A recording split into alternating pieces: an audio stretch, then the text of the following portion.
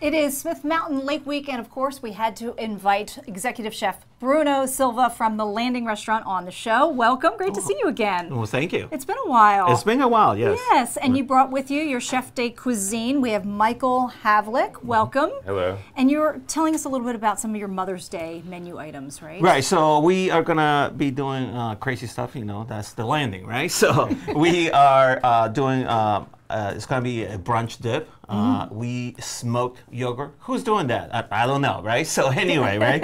uh, we put some herbs, some lemon zest, and all that, and then we are gonna actually, when we come back, we'll show you. We're gonna crack a soft um, egg in there, Ooh. and then we're gonna put this uh, local honey that has um, um, some uh, cinnamon and star pepper, anise and pecans. pecans and all that, and we're gonna put all that in there.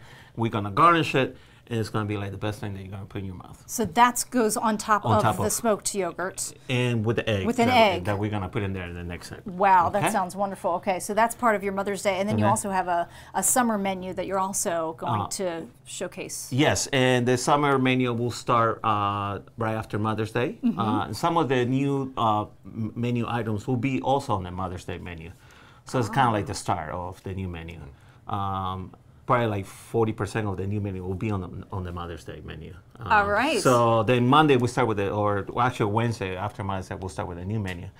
Uh, we'll have a lobster avocado salad that we're also going to show you. Mm. And we also going to show you a pasta dish uh, with meatballs. And we make all the pastas in house and everything is done, uh, you know, fresh and ready to go.